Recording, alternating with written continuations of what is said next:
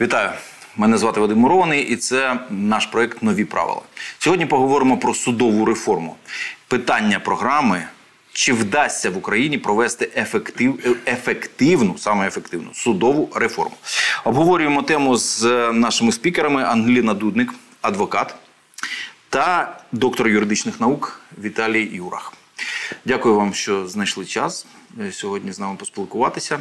Е, Дійсно, суди впливають на всі сфери нашого життя від е, пересічних громадян у якихось е, абсолютно там сімейних або господарських е, е, спірних питаннях, і аж до Верховного суду, який впливає на діяльність Верховної Ради і президента. Ми поставили питання нашим глядачам і слухачам і, читачам в усіх наших е, соцмережах. І ось що у нас вийшло. Чи вдасться в Україні провести ефективну судову реформу? 34% відповіли так. Всього лиш 34% вважають, що це вдасться. Не зараз, можливо, колись. І аж 66% не те, що не впевнені, а кажуть, що ні, не вдасться нам провести ефективну судову реформу. Будь ласка, прокоментуйте спочатку, як вам такі цифри? Вони е, корелюються з вашим е, уявленням про судову реформу в нашій країні? Ну, мені здається, що вони правдиві і відповідають дійсності. Е, Я як адвокат е, постійно е, в цій системі і маю дуже великі сумніви щодо вдалого реформування відповідно судової реформи. На сайті Кабінету міністрів є відповідна антикорупційна програма і програма по відновленню України, в тому числі і йде мова про судову реформу, де зазначено, що одним із положень, е, що задача цього плану. Це е, справедлива і ефективна судова система. При цьому е, всі засоби, які там зазначені по плану, вони є декларативними. Тобто реальних механізмів е, їх немає. Тому То проблема в, в тому, що ми е, не розуміємо, е, як нам втілити в життя наші бажання. Ну, інструментарію не вистачає. чи- інструментарію, так. Е, Віталій Михайлович, ви як людина, яка мало того, що ви викладаєте, ви, ви я- я так розумію, чимало виховали в тому числі юристів. Я знаю тут півміста юристів, які у вас навчалися. Не від суддів. І навіть суддів. От. А ну скажіть, як вам оці цифри? Ну, цифри, я думаю, я погоджуюсь з колегою. Цифри абсолютно реальні, цифри ну, відповідають е, тим настроям, які є в суспільстві. І тут, напевно, треба, перш за все, в тому питанні, яке ви поставили, е, його розглядати як ефективність е, в контексті виконання завдань судової влади по відношенню до, до безпосередньо громадян, до народу. Адже влада має слугувати народу і має виконувати відповідно все для того, щоб реалізувати всі можливі права громадян, ну і в тому числі інших осіб, які там перебувають на території країни. В цьому контексті безумовно ефективність, я думаю, відповідає дійсності, і ваше опитування вони, ну, вони повністю презентують е, бачення громадян. Знову ж таки, спілкуючись, е, як і колега з е, клієнтами, бо також практикую безпосередньо, зазначу, що ну, підходи і відповідно робота суддів, вона е, навіть в очах безпосередньо клієнтів, вона саме презентує ту, ту динаміку, яка показує. Система дуже складна. Ми, ми говоримо про право на е, реалізацію права на звернення до суду, да, і закінчуючи відповідно е, реалізацію права, тобто конкретним захистом правовим. То, наприклад, якщо брати майнові спори, то наша система виконання рішень вона е, на пострадянському просторі характеризується як одна із найнеефективних. Є цифри по державній виконавчій службі, що до 90% окремі періоди розвитку нашої країни рішення не виконувалися взагалі. І тут є певні зрушення, наприклад, в аліментних спорах, наприклад, там в питаннях виконання е, там з- зобов'язань в, ну, в примусових деяких е, провадженнях, але в цілому тут є велика, велике питання, і воно пов'язане тільки з діяльністю суддів. Тобто не можна говорити, що судді винні там професійні або там сама судова система і ті всі органи, які там.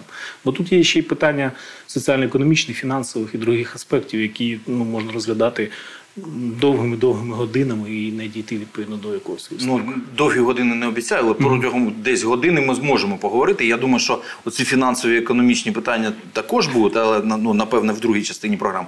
Зараз е, дякую, що ви торкнулися цих аліментних справ.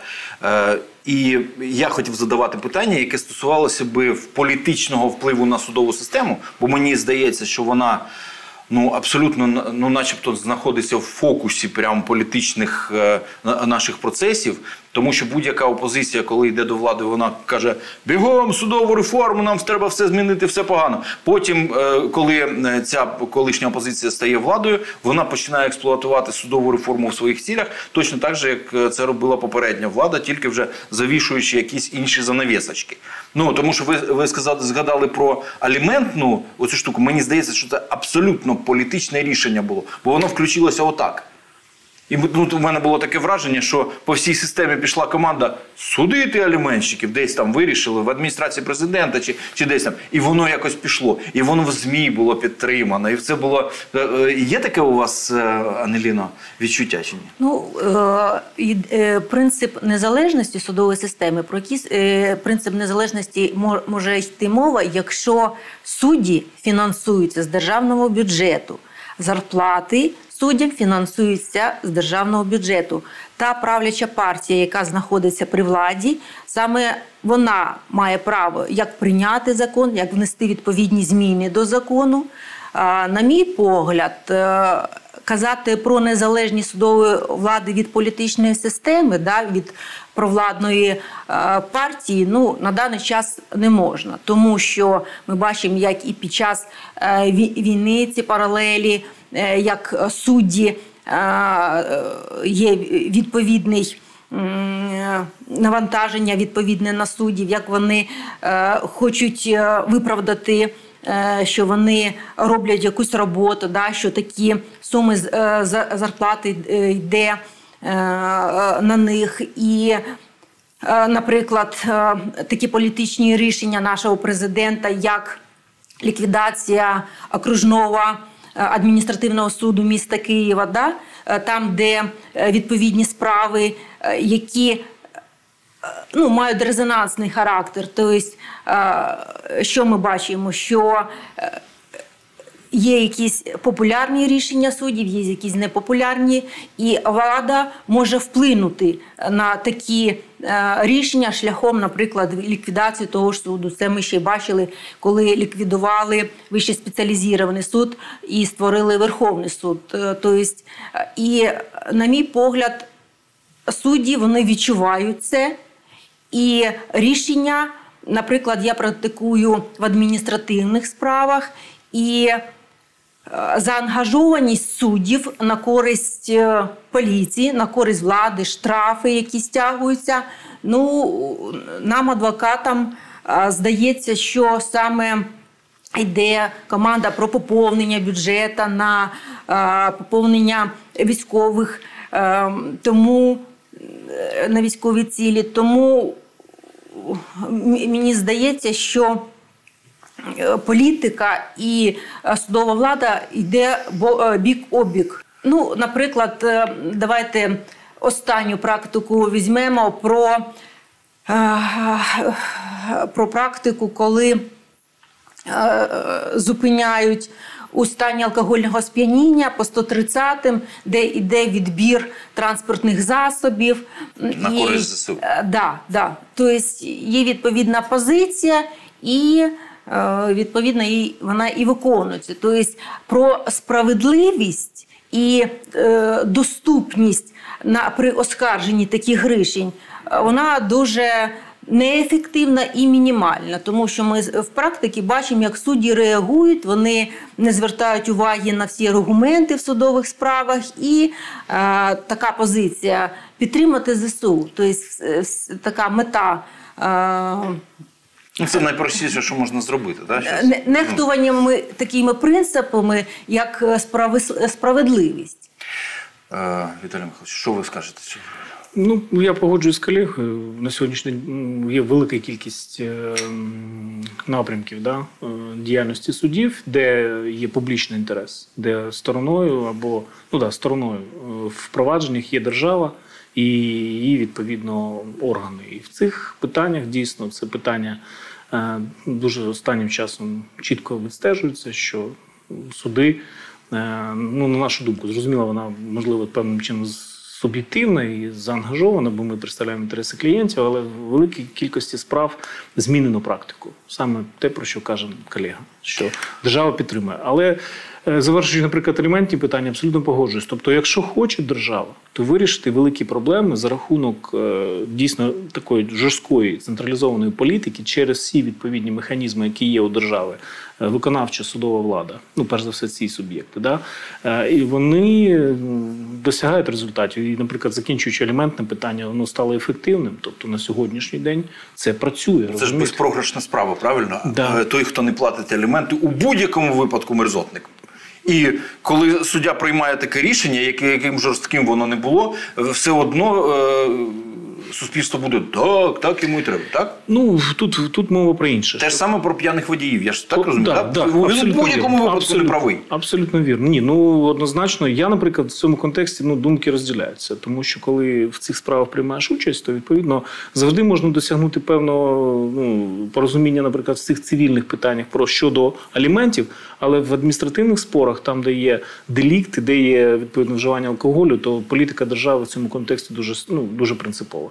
Якщо за кордоном ми маємо приклади, де є там один проміль в крові, і ніхто нікого не карає, не відбирає авто, бо мінімальна смертність і мінімальні відповідні наслідки, то в нашій країні я тут можливо певним чином розділяю позицію суддів. Але в даному питанні ефективність можливо проявляється тр- трошки в іншому, наскільки дієвим буде вплив у цієї держави, щоб відповідно суспільство зрозуміло, що ефективна політика в боротьбі з пияством за кермом пролягає в тому, що не треба сідати за кермо п'яним. Ну, І е, суди ж- оце ефективність, Суди ж, я, я перепрошую, суди ж не несуть виховної функції. Як не так? несуть? Ну як? Ну є відповідно превентивні функції у судів, так само, як і у органів виконавчої влади у поліції. Так само є відповідно і завдання, які стоять, в тому числі і відповідно формування правової культури через рішення судів. Мені здалося, е, чи зараз е, Віталій Михайлович виступає в ролі адвоката судді, е, е, Ні, ну, судової системи України. Колеги, давайте будемо все ж таки об'єктивні і За колегу дякую.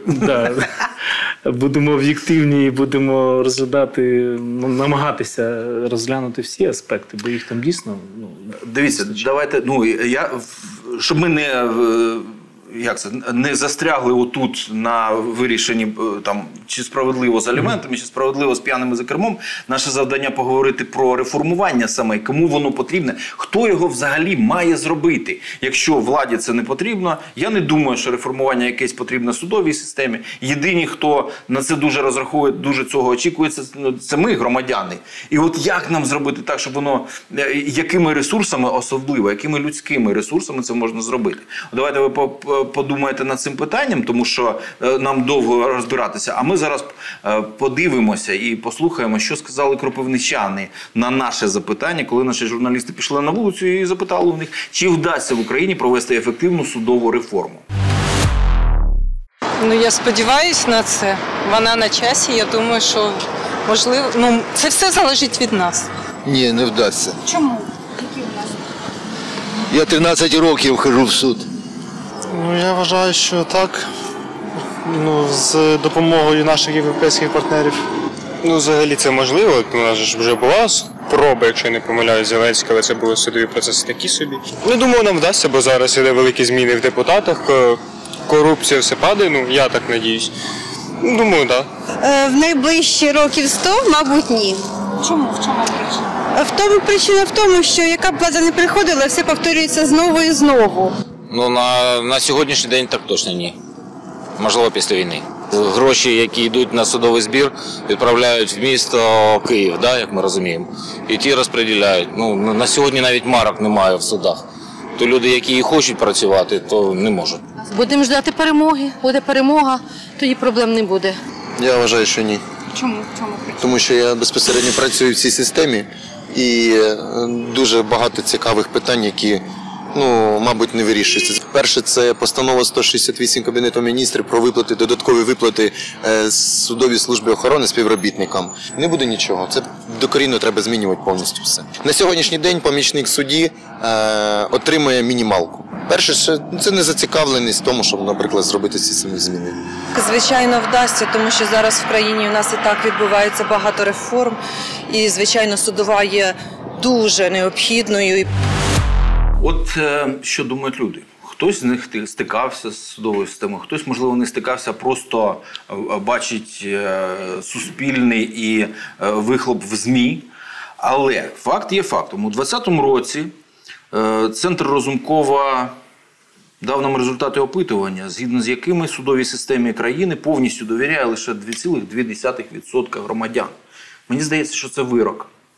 Це було в 2020 році. З тих пір мені здається, що нічого особливого не сталося. Тільки там в 2020 році Конституційний суд скасував кримінальну е, і взагалі будь-яку відповідальність за неправильне декларування. Те, що ну, наприклад, дуже треба суспільству, Конституційний суд сказав: та ні, не треба народним депутатам і там великим політикам нічого декларувати. Це я думаю, ще мінус до цих 2,2%. 2,2%. Так, в 2021 році е, вони прийняли. е, Вони окружний адмінсуд Києва прийняв рішення на користь Портнова, який е, там е, по-своєму, звичайно, як е, людина Януковича, тлумачить події на Майдані. В 2021 році на його користь приймається рішення. В 22-му році е, підозрюваний у хабарництві голова Олександрівського районного суду в Кіровоградській області продовжує виносити е, судові рішення, в тому числі у справах про корупцію.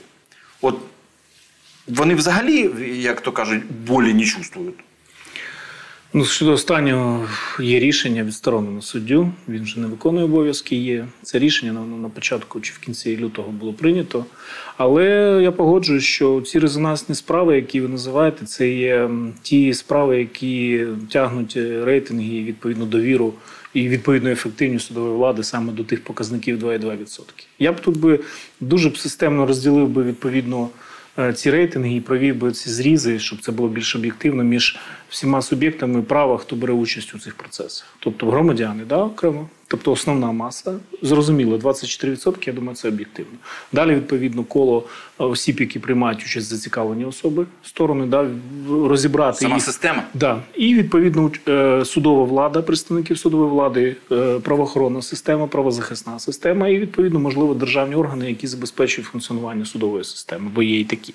Відповідно, кожен із цих представників мав би сформувати наскільки дієвим і ефективним є ну, досягнення судової реформи, про яку ми говоримо. Ну, є певні досягнення позитивні. Є європейські міжнародні практики, які мають певний позитивний результат. Ну, я собі виписав, наприклад, це впровадження єдиної судової інформаційної комунікаційної системи. Ну, нас не стосується, це стосується системи. Ні, Ми- ми не почекайте, що тут про що мова? Тут раніше як було? Я знаю суддю, я кум сват брат, неважливо якого рівня. Я відповідно хочу слухатися у цього судді. Я з ним це питання вирішив. Цей суддя приймає справу, рішення вирішив. Це було до 2007 року. Це було просто вирок в системі всій. В цьому році вже, хоч якось, розподіл відбувається автоматизовано. Віталій Михайлович. Ми ж всі знаємо. Да. Ми ж всі знаємо, так? От, Ну. ми, бо, бо- люди скажуть, що ми не в матеріалі. Якщо ти прийшов, адвокат чи хто, ну, хто прийшов, тебе не влаштовує суддя, ти е, даєш йому як там, е, як Відвід. І от так від, відвід ти будеш давати стільки, по- поки тобі же- же- жеребом цим не випаде той суддя, з якими ти знайомий кум сват брат. Ну. А якщо це в районі, я перепрошую, в якому там два-три судді, Один. ну один, то, то взагалі, то все.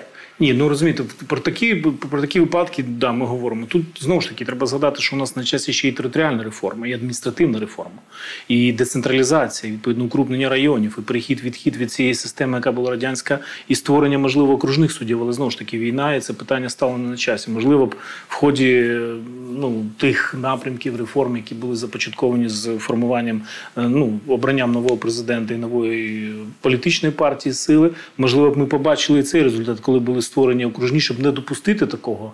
У нас є ситуація, що е, у мене особисто випадок, частина 2 статті 115 це вбивство групою осіб.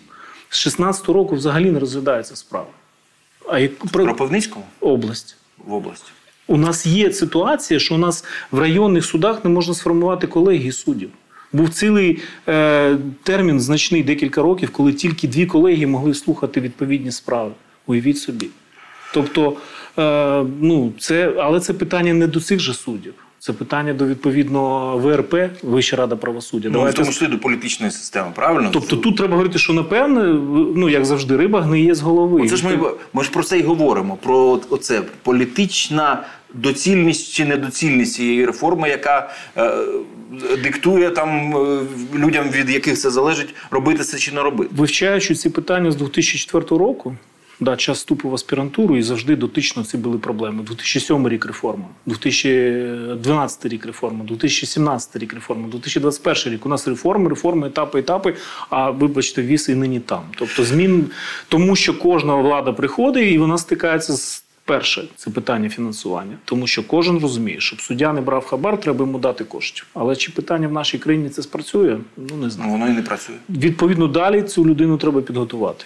Далі, відповідно, цю людину треба вкласти відповідними умовами, щоб в нього і згадки, і думки не було брати відповідні хабарі і певним чином впливати на ефективність правосуддя. Але це тільки це судді, тільки кадри. Але суд, якщо говорити про суд, у нас, наприклад, ми поруч суд у нас знаходиться, там із 15 посад працює там, якщо не помиляюсь, 6 або 7 да? суддів в Ленінському районному суді. Відповідно, той самий апарат. А обслуговувати Ленінський район, ну колишній Ленінський, зараз ну суд Ленінський залишився. Там, якщо не помиляюсь, 15 посад. І відповідно, ну які питання можуть бути до судів, що вони по 5 років не можуть розглянути цивільну справу?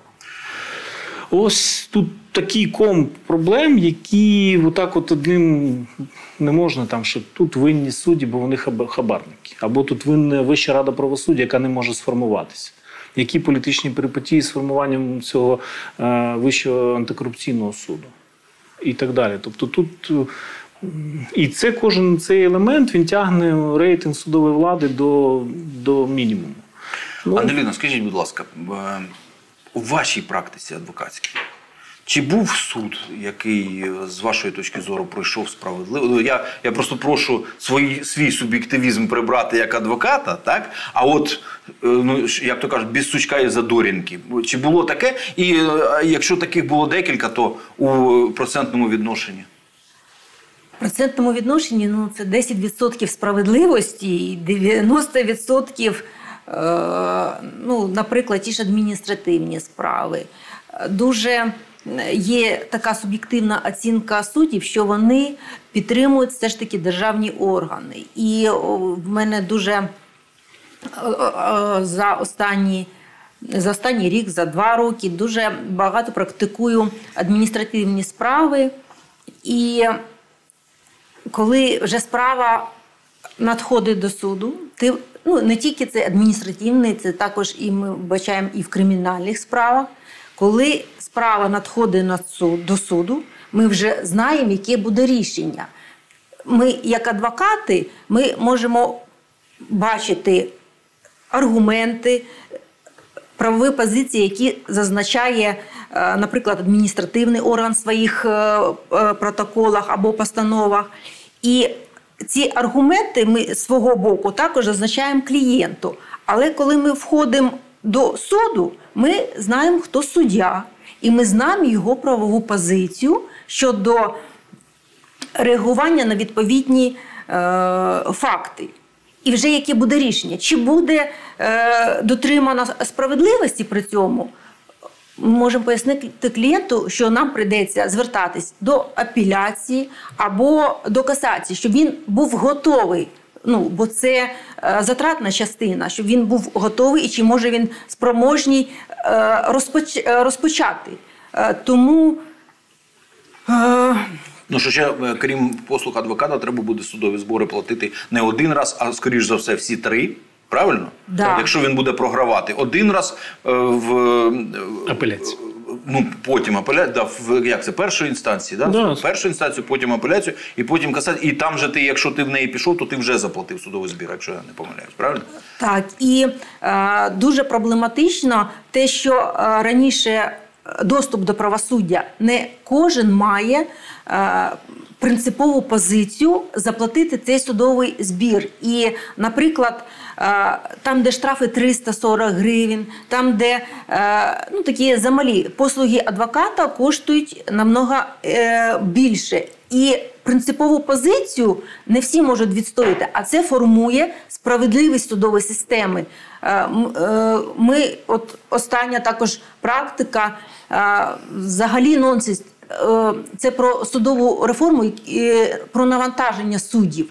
Судді у суддів стільки справ, що мені здається, вони взагалі не встигають розібратися в тих фабулах, в тих фактах, в тих доказах, які в цих справах. І рішення готують помічники. І остання практика взагалі нонсенс, коли суддя, ну, мабуть, він підписав рішення, коли не набрала взагалі е, е, судове рішення в адміністративній справі. Про е, позбавлення водійських прав не набрала законної е, сили. Е, Патрульні поліцейські зупиняють, штрафують е, за те, що особа їздить, е, не має права з водійськими правами їздити, штрафують на 30 тисяч гривень. Е, Оскаржуємо цю постанову за 30 тисяч гривень. А суддя взагалі не бачить про те, що рішення не набрало законної сили. Тобто про це що каже, що у суді ну, немає часу, і е, це низький рівень е, помічника, який готував це рішення, і ми змушені платити е, кошти, е, судовий збір, там 2 тисячі чимось, і для того, щоб оскаржити це рішення. Е, Тривалий час ми повинні чекати. Це було півроку. Апеляційна інстанція працює. е, всі елементарні рішення, які не потрібні ні апеляції, ні касаційній інстанції. Це каже про що? Про е, те, що якщо йде мова про реформування, е, то потрібно враховувати це навантаження на суддів. А е, в, ті, в тих реформах, про які декларують, які є в планах, там взагалі нічого немає про навантаження. Е, є приклади е, е, з. І наші судді їздять до е, країн Заходу, де у них на суддів по 5 справ. А зайти в нашу апеляцію, коли там е, з утра до вечора ці справи, і хто їх е, розглядає? Якщо ти пишеш апеляцію, е, апеляційна інстанція змушена казати, а ви, якщо ми подаємо клопотання е, про вивчення доказів, які е, суд першої інстанції дав неналежну оцінку.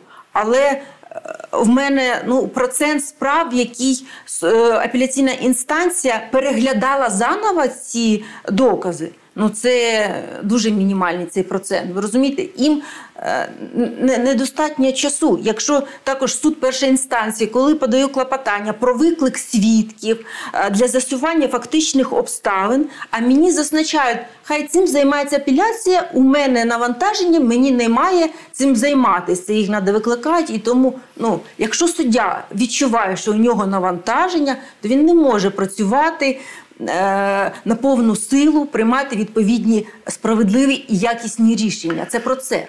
Реформа повинна бути про це. З вашого дозволу, я не буду жаліти суддів. Ну, бо мені здалося, що ви до цього клоните, що їх треба пожаліти, що вони бідні, їх так мало, вони такі затуркані, такі от вироблені всі. Не буду я їх жаліти. У мене теж не було ніяких е, ну, якихось плюсових, е, як це, е, ну немає плюсових спогадів за все життя з, з моїми там якимось е, тими декількома разами, коли я стикався з судовою системою. От зараз, наприклад, у нас буквально місяць тому закінчився суд з одним народним депутатом який в свій час, здається, у 2020 році, це якраз поки не, не треба було нічого декларувати, він купив там зайву авті- автівку, яку не задекларував. Два місяці було, здається, чи три місяці оцей е, якийсь проміжок, що. Типу, не обов'язково було, а потім знову обов'язково. Наші журналісти просто написали про те, що от тоді-то е, купив і не задекларував. І, звичайно, першу інстанцію ми виграли. Ну, бо там просто правда написано та й все. А потім, як ви кажете, воно попало в апеляцію. Навряд чи там хтось щось передивлявся, хтось щось зробив. В рішенні суду навіть наша позиція не була викладена. І е, наш адвокат, е, е, не буду називати його прізвище. По-перше, він не місцевий, по-друге, дуже серйозна людина, не хоче, щоб у нього було, як ви кажете, дуже багато справ. І він каже: от дивися, якщо. Не викладена навіть у рішенні ваша точка зору ні одним е, е, цим е, реченням, то це значить, що попросили, бо у них немає часу, попросили просто захист викласти самим, як це називається, Рішення. проєкт рішення. Да, проєкт рішення. Просто потім взяли, переписали та і все. І я кажу: ну і про що про що це говорить? Він каже: ну це говорить про те, що в касацію не треба подаватися. Або ну подавайтеся, якщо у вас є зайві гроші. Ми зрозуміли, що зайвих грошей немає. Контора полиняла там на дві з чимось тисячі гривень. І ну, начебто, ми визнали, е, що ми там були неправі. От знаєте, коли просто та не хочеться з ними вже зв'язуватися. Отак у мене було з кількома там штрафами колись і так далі. Якщо судова система сама не задоволена е, рішенням про її реформування, якщо їх все влаштовує, да? особливо якщо там суддя колись за якусь там кругленьку суму влаштувався на, якийсь, на якусь посаду і має е, всім своїм е, життям або якоюсь частиною цього життя відбити цю суму. Треба заробляти. Е, якщо, ну і їм, звичайно ж, не треба, скільки там брали їх, починаючи з Чауса і закінчуючи, як цього, який посівав там чи калядував, е, забув я. е, Львівський адміністративний Львівський адміністративний. Ну, Прізвище забув, який накалядував 2 мільйони. Це ще тоді, коли там 8 гривень був, був долар, я перепрошую. От дивіться, якщо вони не зацікавлені, якщо не зацікавлені політики, тому що, ну, звичайно, класно. Позвонили, сказали, слухайте, товариші судді, нам треба вирішити отак. Ну, це завжди. Мені, мені здається, що будь-яка влада е, буде в цьому зацікавлена. Єдині, хто щось там робить і звертає на це увагу, це журналісти, і е, активісти, і політики звертають на це увагу, поки вони в опозиції тільки. Виключно. То хто? Як нам це зробити? Нам завести, ну, грубо кажучи, там у Верховну, е, як вона, Верховна Рада правосуддя, да? Вища нам, Рада правосуддя. Вища, я перепрошую. Вища Рада правосуддя нам завести з Гааги, взяти на прокат, як футболістів. Знаєш, е, це В оренду. в, в оренду взяти суддів на 5 років. Приїдьте до нас, у вас буде отака зарплатня, зробіть нам, ну ви вибудуєте нам всю цю систему. Вона ж тоді має побудуватися з цього. Вища рада е, правосуддя має затвердити цих суддів, ті е, мають нижче, нижче, нижче. Ця реформа має піти. Бо мені здається, що в нашій системі, в нашій країні людей, які в цьому зацікавлені, ти хоч мільйон дай, а все одно е, він мільйон візьме хабаря ще. Питання одвічне, на жаль. Моя думка, що наша проблема нашої взагалі розвитку державності, реалізації суверенітету і перспектив країни це корупція. Ну, однозначно. Відповідно, подолання корупції це не тільки судова влада, це всі відповідно е, всі е, ну, щаблі влади, всі відповідні ешелони влади, всі вони повинні чітко розуміти, що є цей. Е, ну, негативний наслідок. Мені подобається в цьому контексті Китай. Можливо, я дуже радикальний, але коли ми говоримо про той самий Китай, да, і боротьбу з корупцією, да. Тобто вони в понеділок е, відповідно е, посадили, у середу закопали. Тобто, ну приблизно так. В нас, в нас в Євросоюз тоді не візьме. Я розумію, але просто питання в іншому, що ну дійсно проблеми корупції це ж не тільки е, питання до суддів, або це ВРП, це відповідно структура складу, який формує відповідну позицію в Верховній Раді. Це відповідно окремо вища кваліфікаційна комісія суддів. Це відповідно е, ті ж самі органи самоврядування суддівського, які всі повинні взяти за ручки і сказати, так, ми беремо на себе цю відповідальність і готові. Ну яким чином впроваджувати цю відповідальність в наших умовах? Це дуже дуже проблемно. Я дійсно погоджуюсь, що е, формування складу суддів, хоча вони професійні, тут треба розуміти, що дилетантів серед суддів ну немає. Я не кажу про дилетантів. Я не зустрічав. Це освічені люди, це відповідний фах, це підготовлені. підготовка, це відповідний досвід, неабиякий. Щоб стати суддею, треба пройти горнило підготовки освітянської, практичної і так далі. Ті ж самі помічники потім стають відповідно. І щоб дослужитись до судді, це треба ну, пройти дуже або пройти конкурс, або мати відповідно, як ви кажете, е, котлету, яку треба пригостити когось, да, е, і від або відповідно мати певні можливості, щоб тебе там призначали. Ну і але з іншого боку, відповідно для того, щоб е, ефективний був суд з точки зору незаангажованості і і некорумпованості, ну це питання до взагалі антикорупційної політики, е, яка має ці питання вирішити. Адже дійсно, якщо говорити про місцеві суди, я далекий від думки, що там прям процвітає. Але вищі ще були влади, коли колега назвала, ви назвали приклад, таких прикладів безліч. Коли вчора адміністративні апеляційні суди або господарські суди розписують правову позицію, розписують, показують, що да, дійсно докази, фабули, факти, все це потім практика, європейська практика, все це. Впроваджується ось результат, отака у нас права позиція. А потім один суддя приймає абсолютно протилежне рішення, де каже, це не так. Це не це не може бути відповідно аргументом сторони апелянта. Крапка і перекреслює все те, що було декілька років, формувалося за рахунок певних правових думок, там е, адвокатської практики, там і так далі, європейської практики. І на нього ж офіційно не наїдеш ніяк, тому що вибачте, у нас судова гілка влади незалежна. Ви так, не маєте права втручати. Перепрошую, в деяких справах немає права на касацію взагалі. А зараз ще є ситуація. От серед колег адвокатів була ну тенденція відзначена, що деякі справи касаційні суди просто не хотіли приймати. Оце була суб'єктивна позиція. Я не хочу з цим розбиратися. Не маєте права на касаційне оскарження. Це можливо грубо, можливо, не так чітко, як воно прописується в ухвалах про відмову відкритті касаційних проваджень. Але і такі моменти є. І ти платиш судовий збір, ти відповідно готуєшся. Адвокат сидить там місяць над цими над цією, тільки цією справою, відповідно, сушить мізк, відповідно, готує практику, вивчає, показує. А суддя в Верховному суді, ну вибачте, ну не до вподоби або, можливо, є якась вказівка. Він каже, це не підлягає касаційному скарженню, відхиляє. І відповідно великий пласт питань відразу виникає у людей, які все ж таки готові викладати і ресурси, і час, і відповідно залучати праву допомогу професійну. І дійсно потім ефект такий. Тому ну тут реформувати і реформувати.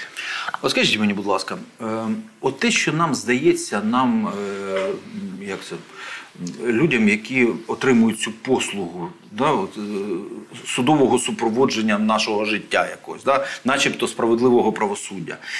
Це мені здається, що дуже довго у нас все відбувається. Це воно відбувається, тому що там замість 15 суддів 6, але ж це не завжди так було. Чи це від того, що е, ну там я теж спілкуюся з багатьма людьми, е, які не задоволені системою. Вони кажуть, а вони спеціально затягують, поки ціни надумають занести, або ціни надумають занести.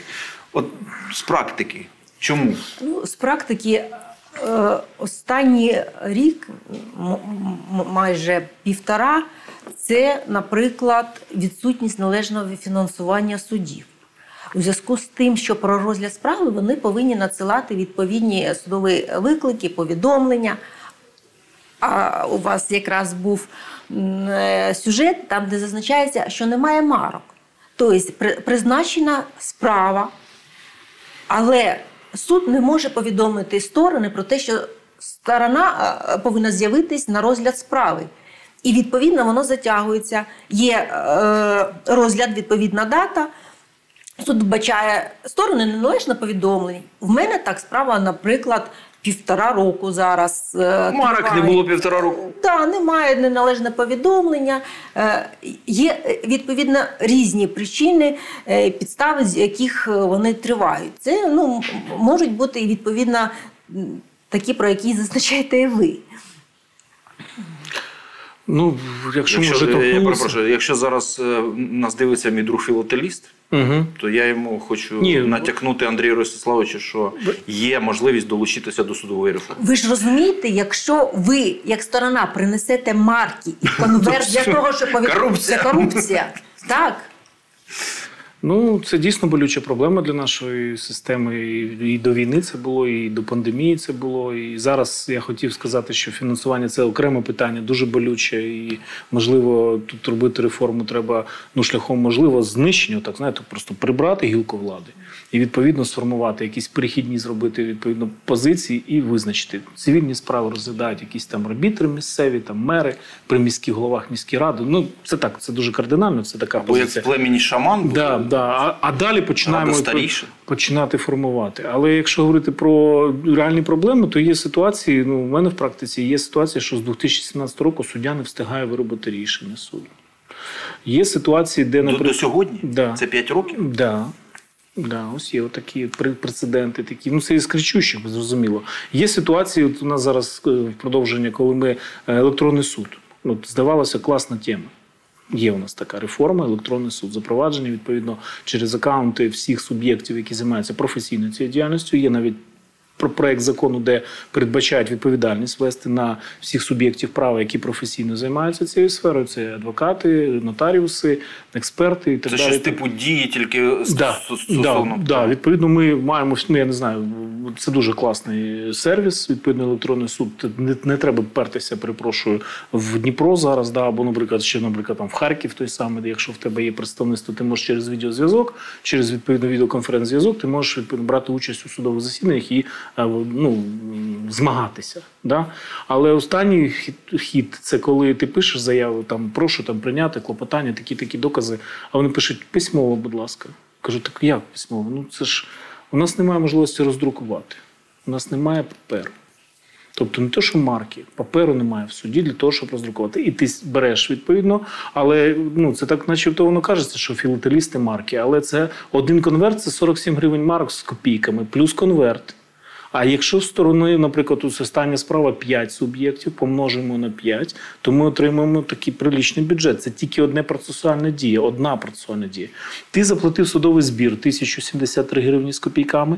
Відповідно, ти ще тільки на одну процесуальну дію ти купуєш це, і відповідно далі питання: навіщо мені суд потрібен? Може, ми якось будемо створити да, інші моменти да, врегулювання цих спорів, конфліктів, тому що далі ситуація є велика кількість справ, що це тільки початок. Тобто суд, то знаєте, це процес. Класно багато анекдотів. Зараз такі часи, що не про них, але це тільки ти зайшов в процес.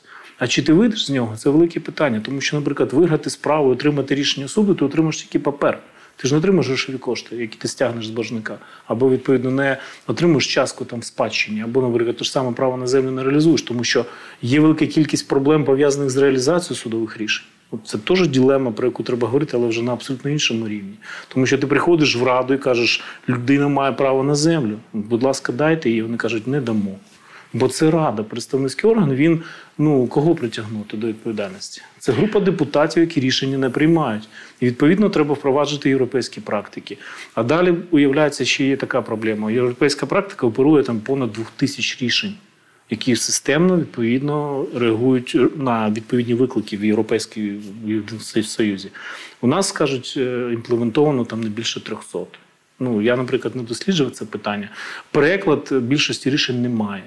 Тобто, і ми хочемо вступити в Євросоюз, і ми хочемо мати ефективну систему. А у нас банальна юстиція не може забезпечити відповідно впровадження, хоча б на рівні перекладу цих рішень і роз'яснення, надання цього інструменту для функціонування всіх систем. Бо в Європі ці проблеми вирішуються, коли в тебе спір, наприклад, з місцевою радою, з муніципальним органом щодо того чи іншого. А тут ну спробуй зобов'яжи, наприклад, зараз вирішити питання е, тарифу.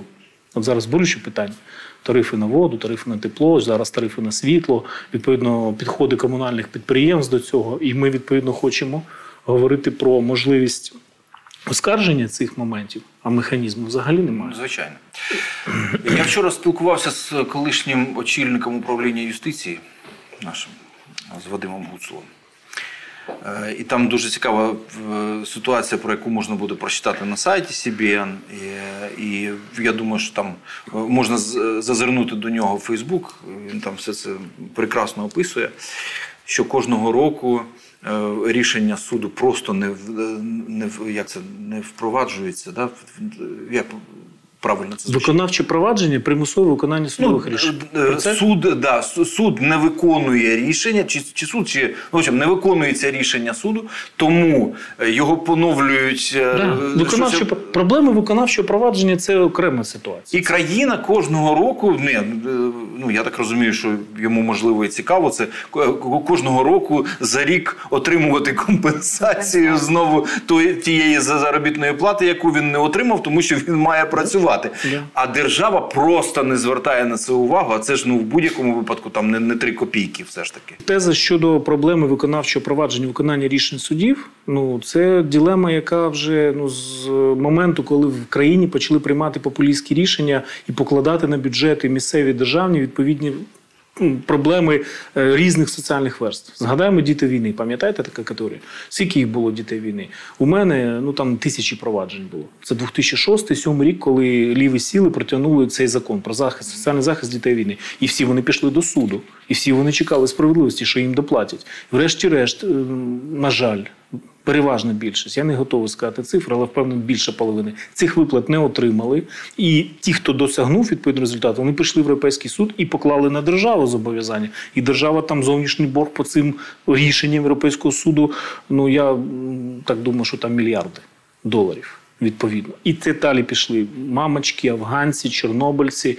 А зараз цікава ситуація, що пішли прокурори, державні службовці, судді, які відповідно вимагають прорахунку цих зарплат, військовослужбовці, поліцейські і так далі. Бо була змінена система державної служби і гарантії державним службовцям. Була там така, якщо не помиляєш, 69 стаття про держслужбу, яка гарантувала 70% ти будеш від отримувати від окладу, який отримує той самий посадовець на твоїй посаді зараз. І ти будеш мати таку пенсію. А цих коштів вже немає. І почалась така соціальна несправедливість, що, наприклад, тут суддя в контексті запитання, яке прозвучало з студії, відповідно, він буде обмірковувати. Якщо з ним так поступлять, він працює, працює, він сподівається, що він вийде на пенсію. Він справедливо відпрацює, він потім буде отримувати 70% окладу або там 80% окладу від того окладу, який має такий самий суддя на момент звільнення його, то тут є питання. Не виконується. Не виконується. Як по-вашому, Ангеліна? Для того, щоб судова система була справедливою, щоб суддя, який сидить в мантії на своєму місці, там був е, ну, супер добропорядним, ну, взагалі, щоб до нього ну, ну, свята людина, прямо, яка вершить свій суд е, неупереджено. Скільки має цей суддя от зараз в нашій країні, в цій ситуації, зараз отримувати яку платню? Ну, для мене е, це не про платню, про якість, про справедливість, це про е, потреби саме як індивіда е, реалізовувати себе. е, Свої потреби в служіння народу, це як сенс життя. От, про це про це, як, наприклад, якщо ми е, візьмемо е, на прикладі, от є такі категорії за ідею камікадзе, які служать, тобто вони ж не за фінансову ідею роблять якісь вчинки, от, наприклад, наших військових, е, які роблять такі вчинки, які. е, е, які можна сказати, що це от як гер- герої, да?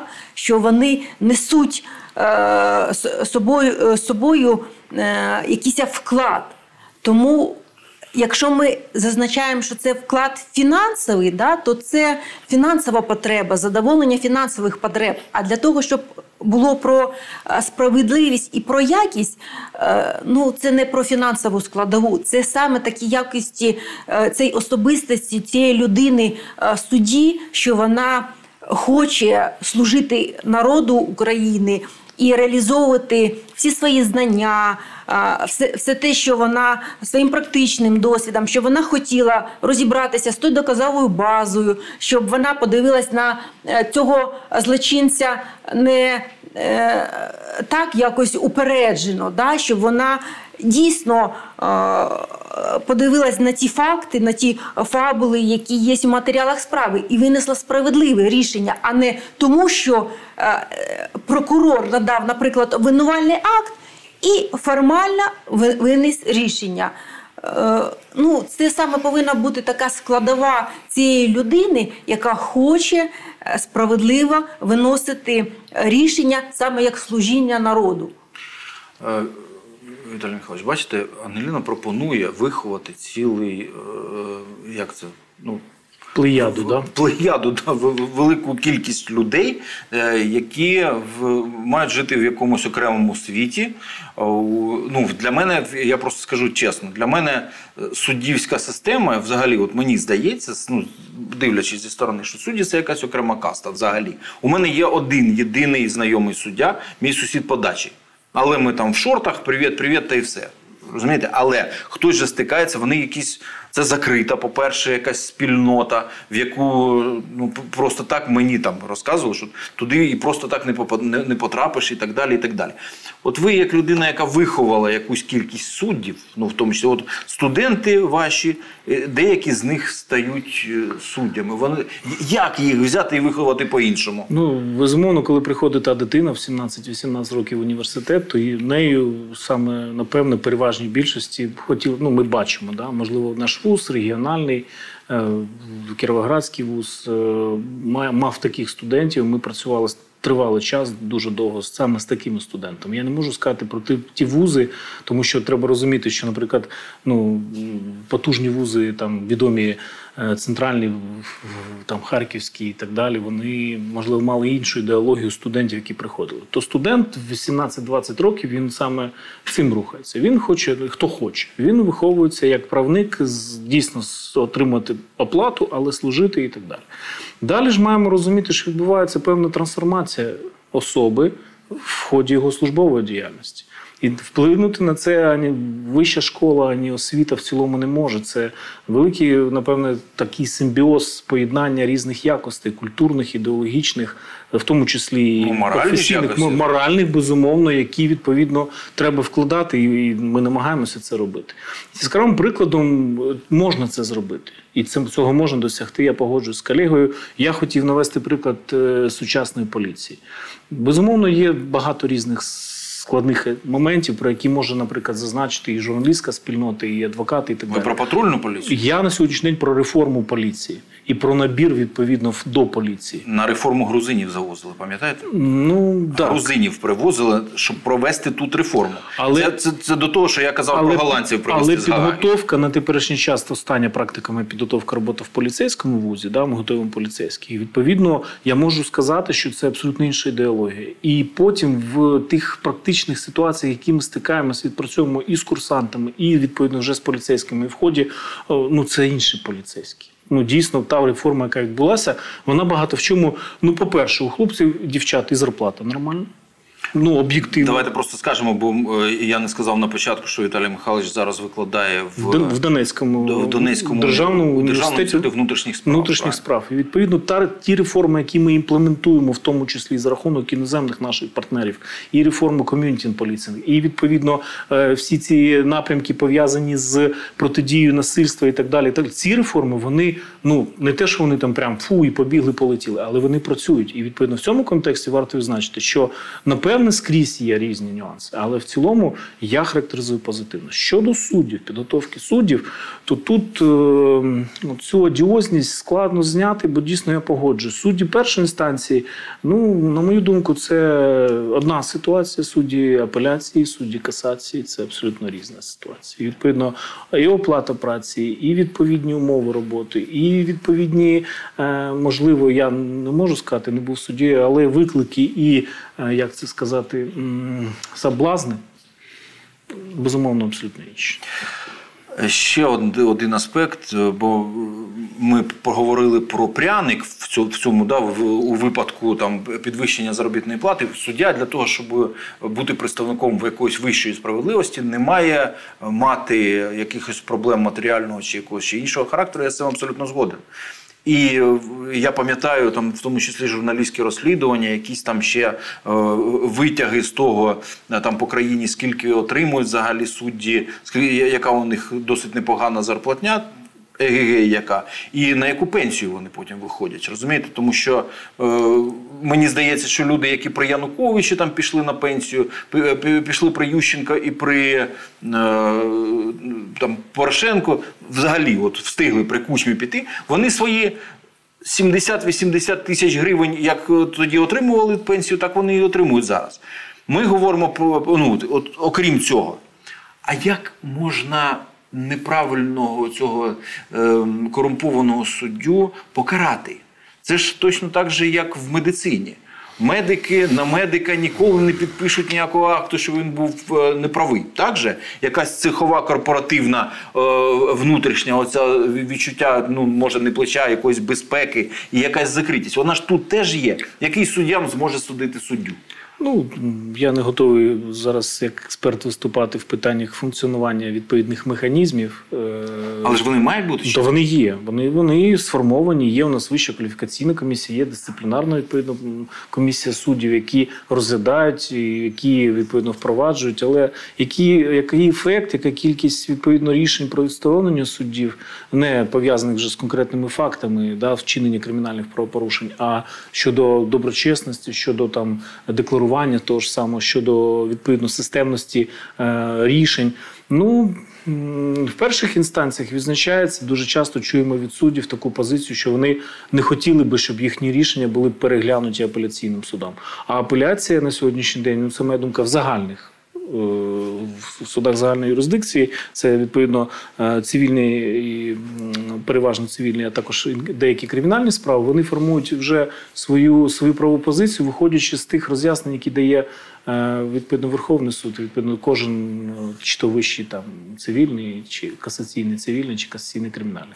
От, наприклад, система адміністративної юрисдикції, господарської юрисдикції, як на мене, там немає громадян. Ми маємо розуміти, що там немає громадян, там немає таких суб'єктів, як людина, фізична особа, там є специфічні суб'єкти, і там є обов'язково там або суб'єкт повноважень, або господарюючі суб'єкти. І там гроші, і там відповідно виклики, і там питання. І там безумовно ті проблеми, про які ви говорите. Що там але ж ми іноді стикаємося це із моя думка і з тим, да, е, просто е, різний розмір цього чемоданчика, який в результаті замість е, кримінального кодексу або замість чого ще оцей чемоданчик з папірцями вирішує іноді це питання. Тому це моє переконання. Я хотів би дуже дуже хотів би помилятися, але от та цифра, яку я на початку програми говорив, що довіряє судовій системі 2,2% всього громадян. Я розумію, що коло замкнене, замкнене воно дуже міцно. І е, скажіть мені, будь ласка, бо програма добігає кінця, буквально перше, друге, третє, як по-вашому, де це коло треба розірвати? На самому верху, на самому низу, в, на рівні студентів, чи е, як ну, звичайно, там це жарт, але все ж таки завести п'ятеро незалежних суддів там зі штатів чи з Голландії.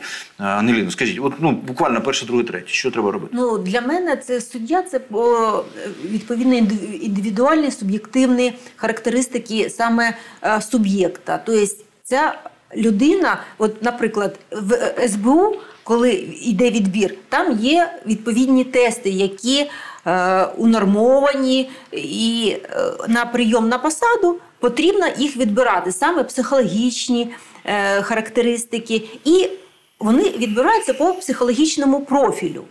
Тому, е, як для мене, Е, особи, які йдуть на такі посади, їх потрібно відбирати, е, і в них повинні вже бути ці якості. А якості вони. Відповідно, як з малку, так і в соціум їх е, формує, і вони на момент відбору судді вони вже видно. Тобто повинна бути особа, психолог, можливо, який разом е, відбирає е, на цю посаду, тому що фінансова складова, е, складова надати відповідно там заробітну платю. Ну для, для, для мене, ну якщо кажучи, то ви, ви все ж таки за цю утопічну ідею. Утопічна. Для мене вона утопічна абсолютно. Що є у нас якісь люди, у яких є свій Вони є. якийсь моральний кодекс, інший, не такий, як у решти. Вони є, і ми, коли працюємо практично, ми знаємо принципові позиції цих суддів. Наприклад, можна подивитись приклади е, ну, в СМІ, де судді значають про тиск з боку, наприклад, СБУ, інших правоохоронних органів. Це про що? Що у суді є правова позиція, і їй і, е, і вона не хоче сприяти тому органу, який зайшов цим обвинувальним актом. І відповідно відбувається тиск на суддю. Розумієте, але тут питання піддаться цьому тиску, або все ж таки відстоювати. Не кожен суддя це може дотримуватися з цих своїх принципових позицій. І я, як практик, я знаю, що є такі судді, і е, коли заходить справа, я знаю, що цей суддя буде вкапувати ці факти, ці докази, і буде справедливе і законне рішення. Ну Так, не окей, всі. добре. М, Давай по-іншому по- поверну. Значить, виховуємо ми в країні таку якусь е, особливий прошарок людей, групу, касту. Я не знаю, давайте називати це як завгодно. Це станеться через 5, 10, 25 років. Через скільки років, по-вашому, ми отримуємо справедливу судову систему? Ну на це потрібна політична воля, а її Все, немає. політична воля є, от все є. Скільки, по-вашому, знадобиться? Ну, в суддів потрібно вкладати, їх потрібно навчати, їм повинні прививати ці принципи верхо- верховенства і справедливості. Якщо вони беруть рішення Європейського суда, викладають, беруть е, кусок фабули і на ту потрібну позицію, яка провладній владі, е, якимось зацікавленим е, олігархам виносять рішення таке, як потрібно, і таке напишуть. Ну розумієте, е, Вищий антикорупційний суд також, наприклад, виносить такі останні рішення. Ну саме де двойний стандарт, де політика сказала, що нам потрібна боротьба з корупцією. Але ж якщо ми сьогодні робимо двойний стандарт, то завтра він ми кажемо вже не про справедливість Ну, звичайно. і е, тому як про недовіру. ю- як, як справжній юрист. Анеліна мене отак, от, отак, от, отак от водить. І, і, не- можна ж сказати, від 5 до 100 років, ну, наприклад. Це якби, якби журналіст, наприклад, сказав. Це можна і в один день, як ми приклад Грузії. Е, Політична воля е, Саакашвілі і відповідна перебудова всі- всі- всієї системи у боротьбі з корупцією, двойних стандартів. І на мене це політична воля. Політична воля, перш за все. Е, Віталій Михайлович, Скільки времени? ми вже ваш китайський варіант почули, давайте якийсь інший. Е, Ну, я, наприклад, дуже хотів би вірити, що можна провести реформу судову так комплексно, тобто розігнати і створити на, на кшталт реформи патрульної поліції. 5-7 років.